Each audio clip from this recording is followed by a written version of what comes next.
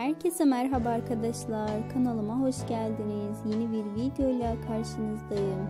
Güzel oyuncu Demet Özdemir yakın arkadaşıyla bir foto paylaştı arkadaşlar.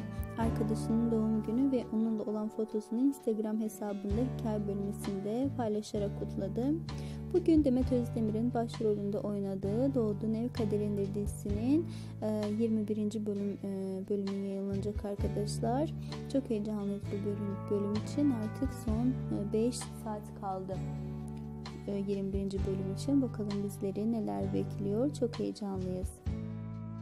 Şimdilik benden bu kadar. Videoyu beğenmeyi, kanalıma abone olup desteklemeyi unutmayın arkadaşlar. Diğer videolarımda görüşünceye dek hoşçakalın.